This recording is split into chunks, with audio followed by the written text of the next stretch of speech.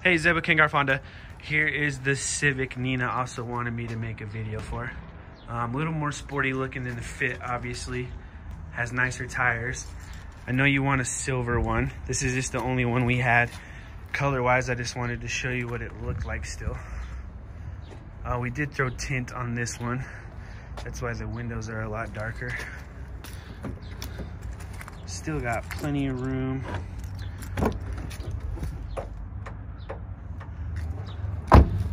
Has the same setup as the Fit, except one of the pluses about driving the Civic is it does come standard with the Honda Sensing.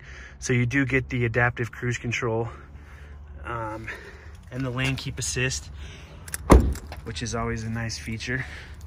And then the trunk space is good as well. Plus those seats will fold down if you need to put anything in them. Once again, if you have any questions, please let Nina or myself know. And we look forward to working with you. Thank you.